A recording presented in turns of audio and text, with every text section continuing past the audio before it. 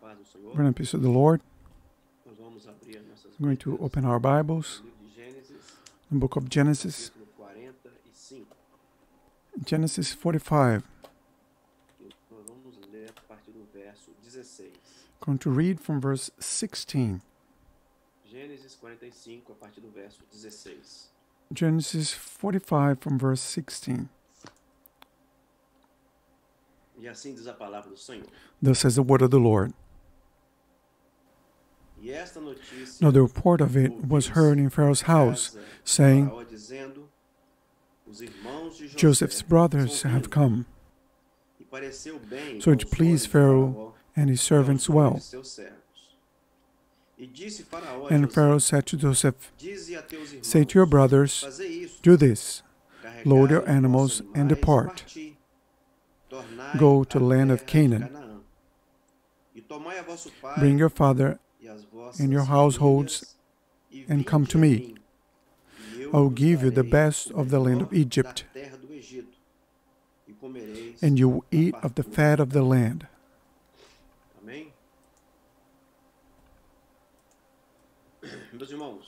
My brethren, nós vemos aqui we see here é, um the moment of, definição of definition no povo de Deus. of the people of God. Nós vemos um momento We see the moment in, in which o povo de Deus the people of God, the, the Hebrew people, They were living difficult moments, momento moments in which fome muito intensa a great famine, very intense famine, was taking over the entire region where they lived. And this period here is before for Moses, before the people went to Egypt and lived in Egypt for 400 years.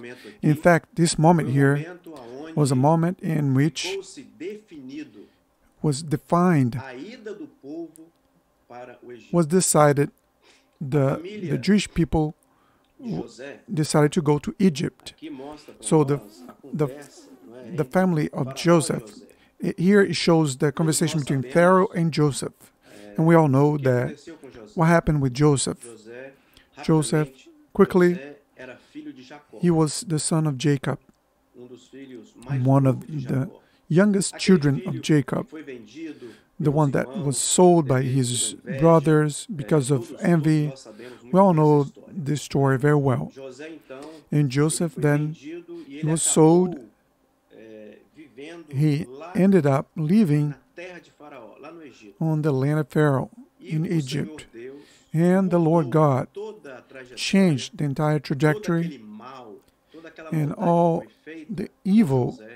All the bad things that have been done with Joseph.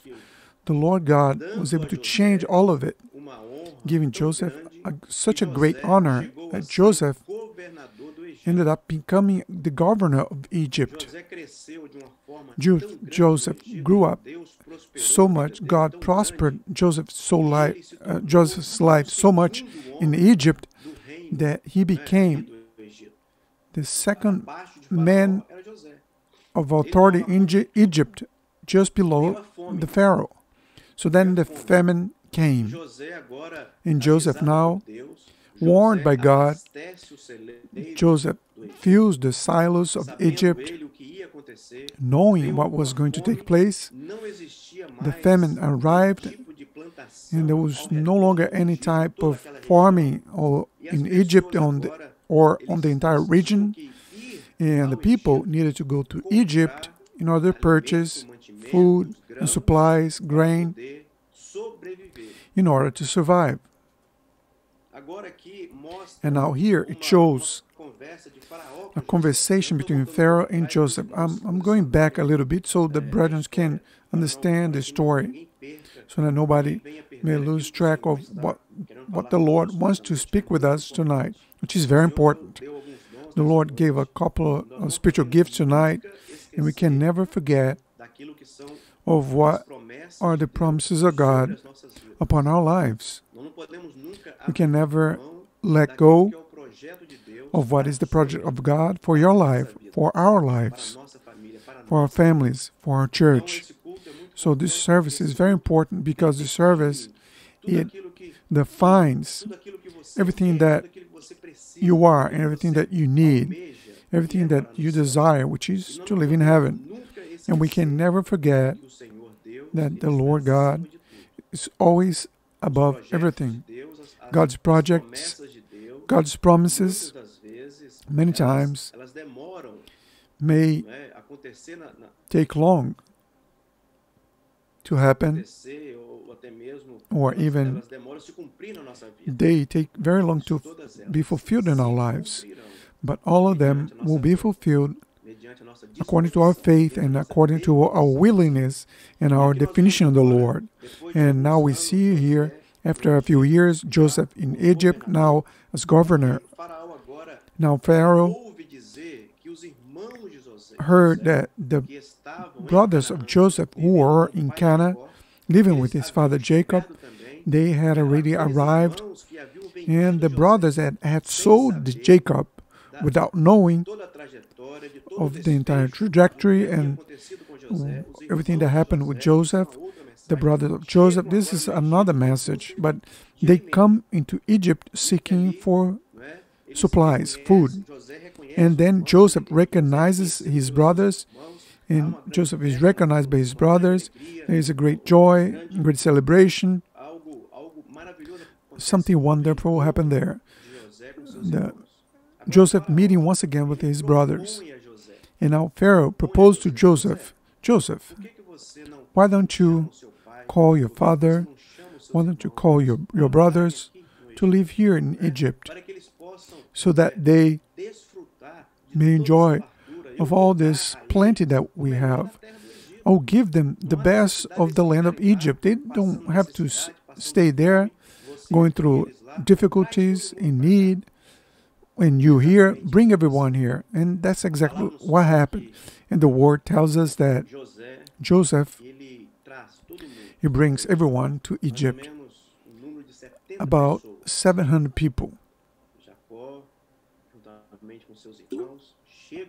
Joseph and his brothers, they come in Egypt and then begin to live in Egypt because of an invitation and a promise, because of something that was given agreement that was made and that now begins to be the main agreement of the family of Joseph with Pharaoh. So then we see everything that took place, everything that the Lord had promised to the people of God through Abraham. And the Lord was causing the entire family of Abraham to be successful, to be blessed, and the Lord was causing them to never never depend on man because the Lord was with them. The Lord was the one who was blessing in a great way what God has done to Abram, took him out of his land and of, out of from within his relatives, and we know that Abram was the father of Isaac, and Isaac was the father of Jacob, and Jacob was father of Joseph. So the promise that the Lord had made to Abram was now consequently was being passed on from generation to generation to children to children. So now we come to the father, it's now coming to Jacob and now coming into Joseph. So then we see, my brethren, this attempt, we can say, even if, if we look rationally, if we look according to our own human understanding, our rational understanding, everything was great. Pharaoh wanted to help Joseph. He was thankful for what Joseph was doing on his kingdom because he was a, a successful person, because of his knowledge, because of his performances as a human being, for everything that he was doing. I could even say was Pharaoh was trying to please Joseph when he invited his whole family and his relatives to to bring them to Egypt and to live there. Now I ask my brethren, was there any other alternative? Was there something that Jacob and his children could have done in order for them not to go to Egypt? Apparently, no. If we look according to history, no. Because the famine, there was a great drought, and the people was dying of hunger. And humanly speaking, appear in a, according to uh, appearances, that was the best alternative. Was a, a proposal that could not be rejected. And after all, what could they what could they lose? Where could they go? Remaining in this struggle, they're going to Egypt buying stuff, and, look, it was a great distance. We don't have, they didn't have the means that we have today of carrying uh, supplies, boats, planes, everything was done on the back of animals. Everything was very difficult. And for how long would they endure this difficulty and going through this situation? So, no. So, then looking through the human aspect, this was the alternative, the appropriate alternative. This would be the first, we can say, their, their first option is to accept this invitation and moving to Egypt. And it was exactly what happened. But now I ask the brethren, they had forgotten something. Is it possible that the Lord, the same God that had blessed Abraham, that has spoken with Abraham and promised Abraham, is it possible that the same God would forsake his people in this difficult moment that they were going through? Is it possible that God was going to close his eyes and abandon people in order for them to and allow them to die? There was a detail that the people had forgotten. The people that I say, Jacob and his family, they forgot about the promise that the Lord had made to Abraham, that the Lord was going to give him the promised land, that the Lord was going to be the provider to them, and that not only Abraham, but the entire descendant, all, all the descendants of Abraham, all of them were going to be blessed by the Lord, and they forgot this promise. The first opportunity and the first offering from outside, offering that was made, the first offering was the Lord gave to Abraham. Because the Lord was the Lord was honoring the agreement he had made with Abraham. Now the people forget all of this. They didn't think twice before accepting this proposal from Pharaoh. And as always, my brethren, that's what happens when we when we make a mistake. Many times today, in our days, in our choices, we forget the promise of God. We forget that the Lord always has always been and always be the provider of our lives. Many times today, in our days, we forget of the Word of God. We forget of what the Lord one day said when He brought you to, into His presence, of the promise that the Lord made to His family, the promise of healing, the promise of eternal life, the promise that the Lord was going to bring peace to His home, that the Lord was going to give to you everything that you needed. Many times you forget. The first opportunity, the first chance, we forget of what God has spoken to us, and we end up falling into the same mistake that the people of God have fallen into. And in the beginning, when we see here, in the beginning, everything was wonderful. Everything was all a sea of roses. The Bible says when we go back here, we'll see the Bible describes clearly what the people went through. The people was, was prospering, 70 people more or less. The, the years passed, and now the people began to prosper, everything went well. They they had their own land in Egypt. They would sow, they farm. They had the area that was given to them, the land that was given to them. They would farm and they would harvest. And they would grow in abundance. They would they would not lack anything. So this small number of about 70 people that entered into Egypt, now, a little later, these people became a, a large nation. We can even say that when they left Egypt, was more than a million people the Bible describes. I don't know, I don't remember exactly how many people uh, depart from Egypt. It was a lot of people. It was a considerable, considerable number.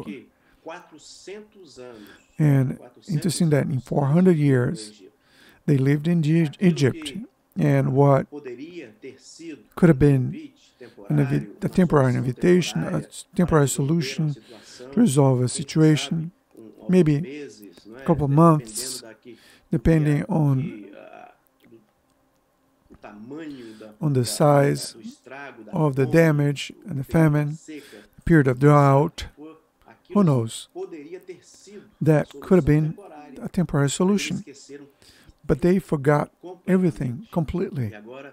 And now, 400 years later, 400 years have passed, and this period a little before the, their, depart, the, their departure from Egypt, the father Jacob had already died. Joseph, the son of Jacob, had already also passed away. The Pharaoh that had made an invitation for Joseph to bring his family had already passed. A new Pharaoh had already taken on power, and that caused a great difficulty because the agreement had been made. Now became a great difficulty because Pharaoh, the pharaohs that took took power afterwards, they saw the situation. They saw the Hebrew people growing more and more and becoming, I could say, something that could could have been an impediment, uh, could cause a disagreement amongst them, or, or imagine a threat.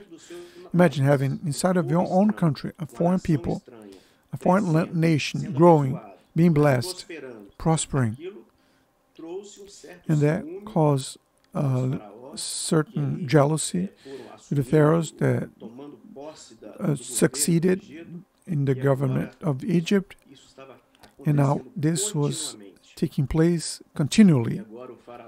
And now Pharaoh, they begin now to create difficulty to the life of the people in Egypt. They begin to abuse the people and mistreat the nation, the Hebrew nation. Now they begin to cause them to work like slaves, work as slaves. They lost their identity. They lost, they lost everything. They passed on from a, a free people, the people that was living blessed under the hands of the Lord. Now they are enslaved people. The Pharaoh was mistreating them, causing them every day, putting more impediment from them, for them from from prospering and growing. So everything that was a dream, everything that was a project, everything that was something that apparently was being a blessing, now has become has become what? An illusion. Why is that? Now I ask my brethren. Because they forgot the promise of God, the promise that the Lord had made for them in the first place. And so, my brethren, today, in our days, it is the same thing. We don't see many differences because many who are here today, living under a promise of God, many who are receiving the blessings of God with their families, their homes, serving the Lord, numbering their days, eagerly waiting to go to heaven, adding blessings and experiences, people that who are serving the Lord. And in the difficult moment, in the moment of difficulty, a moment of famine, they accept the first proposal that is made by the enemy. And you know why it happens? Because they don't see the enemy. as a villain. They don't see the world in the same way we see. What is, is out there to steal our blessing, to take our focus, and to bring disagreement and to remove completely our objective, which is to serve the Lord, not only on this life, but serving the Lord eternally in heaven. So many times, the enemy, the world that is out there, is not manifested as a villain. The enemy, many times, it doesn't come, it doesn't present to people like we have said in the movies and, and uh, the character with horns and with uh, uh, trident and, and color red. No, many times he comes in a subtle way. He comes as a friend. He came as a host. He comes and enters into your home as a person that is coming to help. And the same as Pharaoh. He comes with the proposals, with his uh, own reasons and what is the best that the world can offer. The best job many times, the best house, the best mar- marriage, a perfect person, perfect, perfect husband. And in man's eye, everything look perfect, but the, uh, Christian some many times for, forget that many times those offerings from the world, these uh, invitations from the world, many times they come to steal our blessing. The objective is exactly this to exchange what we have of greatest worth, pearl of great worth, what was given to us as an inheritance, was given to us freely, because a high price was paid on the cross. Many times we exchange it for something that is fleeting. Sometimes offered and exchanged. No, no, leave Canaan behind. Get out from the promised land. Come here because we're going to give you here the best of the land can offer. You're going to eat of everything that of, that the land can offer. And that's what happened. Many times people, they are in the church, they are serving the Lord, but in the first, the first opportunity, they forget of all the promises of the Lord and accept they accept the invitation. Something many times, oh, it's a perfect marriage. Hey, wait a minute. Is your boyfriend or your husband? He's not from church. He doesn't serve the Lord. Oh, but no, no, that's not a problem. I'm going to cause him to accept the Lord. I'm going to preach for him. I'm going to testify to him. And many times that's what happened. The youth, many times, they don't wait for the right moment. They go out in the world, not with the objective to evangelize, but with desire to bring for, for them a solution to a, a problem that they are going through. Many times people, they fall because of this difficulty. And many times, this is the offering of the world.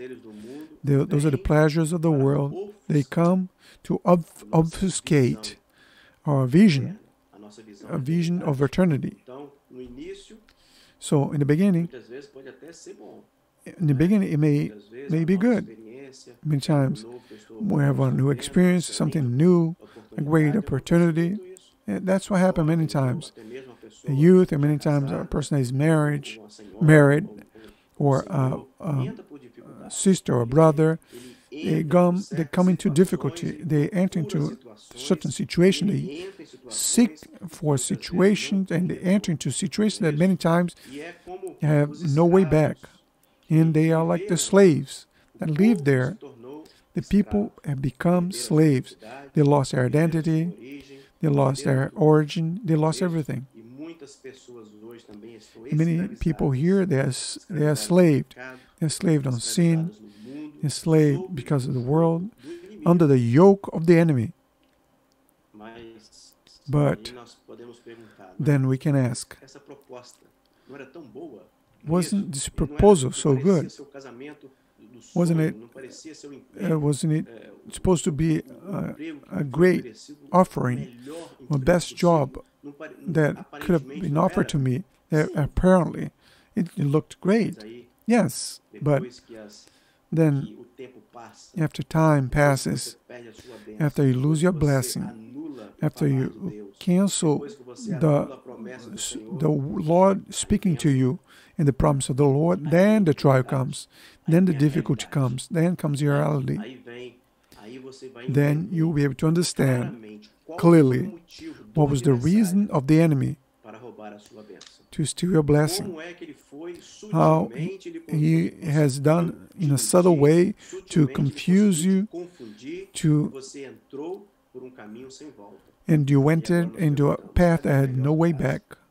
Cadê o melhor casamento? So then, né? Cadê o casamento perfeito? how, where is that Cadê o emprego wonderful marriage? Where is that wonderful car or wonderful job? que no início, Where are the things that in the beginning, um according to human eyes, they were a dream, they were the answer for everything that you needed, tudo cai por terra. but now everything falls to the ground. The- passa, The joy passes, peace passes, self esteem is no longer there, everything vanishes, and now desperation comes, and now slavery enters, and where you become attached, tied up to things to the things of the world. My brethren, that's why the Lord has shown a couple of spiritual gifts, gifts that we need to take into consideration. We need to be paying attention the proposals aquilo que nos é oferecido. of what is being offered to us. We remember that we belong to the Lord. Um. We have a call. Um dia fomos tirados We one day have been taken out of the world. The Lord has a promise upon your o Senhor tem uma life. The Lord has made a promise você to you that you estava recebendo a salvação de was you were receiving salvation from the Lord. Today we have a right. We have a right for eternity with Jesus. This is our right. We do not belong to this world. We have our identity. Nós Have a father. um, have a home. para Have a, a safe harbor to go. We know where we're going to. We have chamado de Deus para the call of the Lord to live eternally in heaven with the Lord. temos uma terra que emana leite We have a land where it flows honey and milk. cuidado com isso. We need to be careful with that. fazer como Israel We cannot do it in the same way as. Israel did, uh, like Hebrew did. We cannot exchange what has been given to us, which is this opportunity, this unique opportunity of salvation in Jesus. The word says that there are ways that according to men's eyes, they seem good, but their end, their end will lead to death. That's why tonight the Lord wants to give us an alert so that we need to be careful, so that we may never let go what it- what has been the blessing of the Lord, a promise of the Lord for our lives. This is the message, not a message that que estamos aqui, we're here. podemos dizer, não é corrigindo ninguém, We're not correcting anyone or colocar ninguém, no, uh, medo para ninguém. causing fear on any- anyone. That's not the objective of this message. This message has the, the only objective of this message is the following Don't let go of your blessing.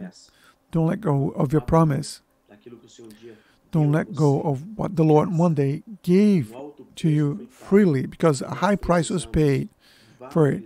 and we need to give great worth to the promise of the Lord for our lives. What is fleeting will pass, um, but what is eternal we already received in Jesus. Blessed be the name of the Lord. So here is this message from the part of the Lord for us. And so let us sing a song, and afterward, we're going to share spiritual gifts that the Lord has given to us, E that essa- speak to our heart, palavra, esse culto and that this word, this service tonight, may be for us as uh, a guide, possa tomar uma so that you may Que hoje você possa make a definition in the presence of the Lord, and that you may say, be able to say no para as ofertas completely to the offerings of the enemy, the offerings of the world, and that you may give worth to what the Lord has spoken to us. May the Lord bless us.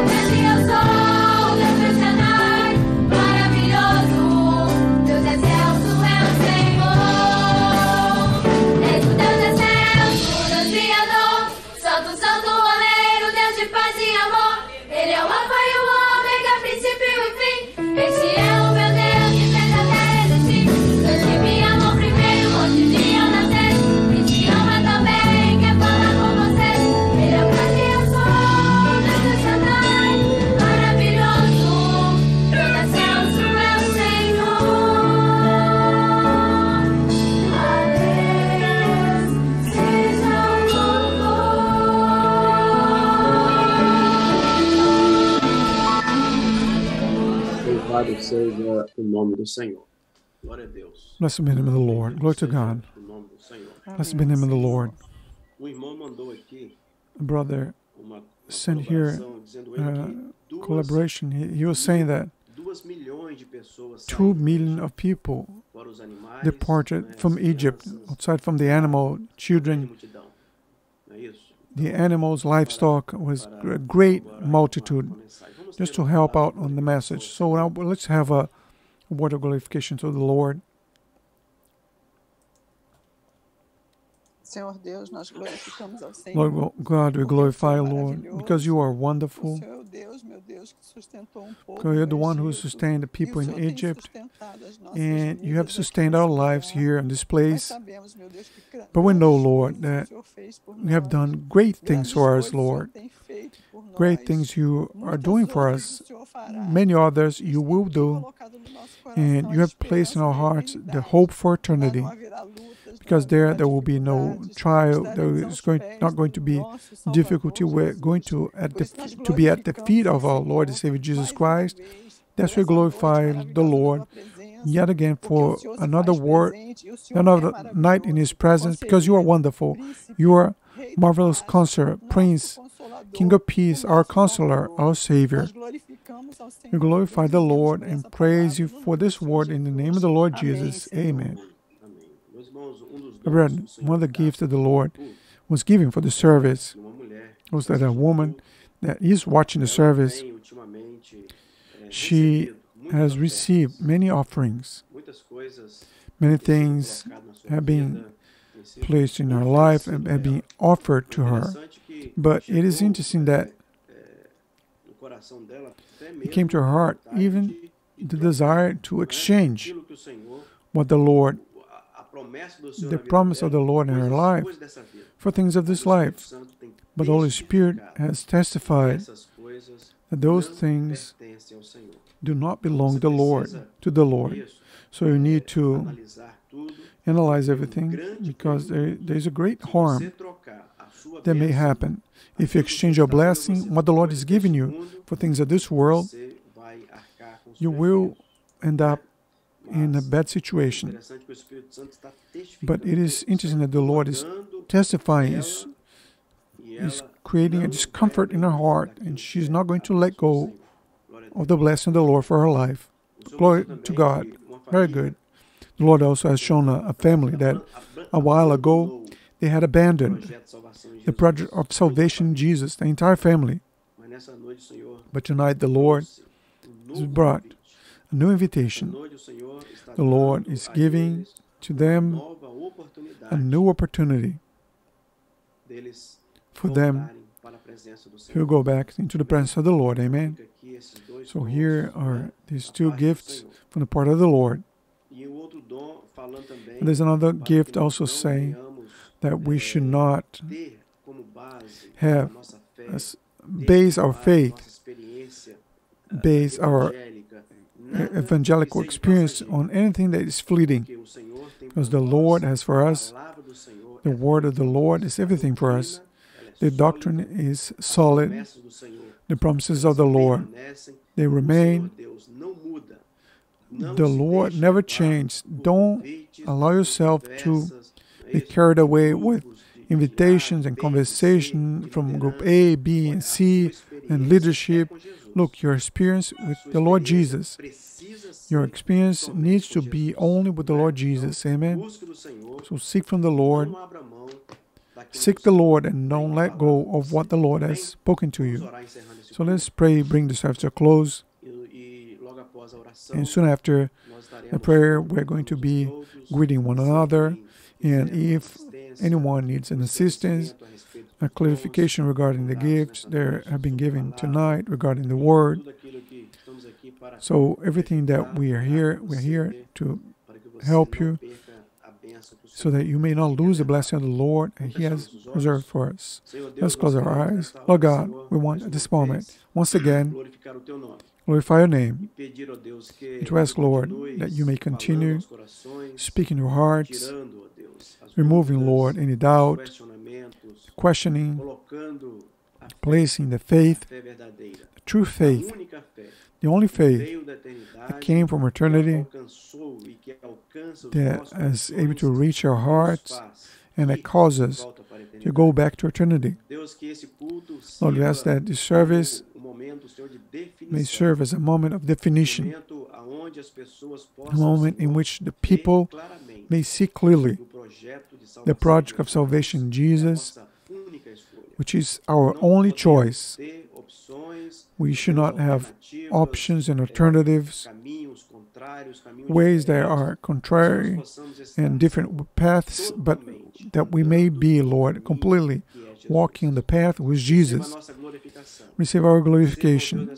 Receive, Lord, our praise to you. The prayer that we say to you, already thankful, in the name of Jesus. Amen. And your name is say that wonderful grace of our Lord and Savior Jesus Christ, the love of God, our eternal Father, sweet and tender consolation of the Holy Spirit, be poured out upon all of us, now and forevermore. Amen.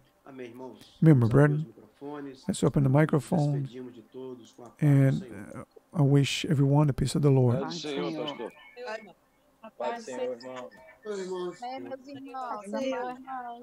Nildo. Oi, Nildo. Ei, alguém chamou? Eu. Oi, Lígia. Nildo, eu tomei a vacina de Covid hoje. Eu queria oração, porque eu estou sentindo dor no meu braço.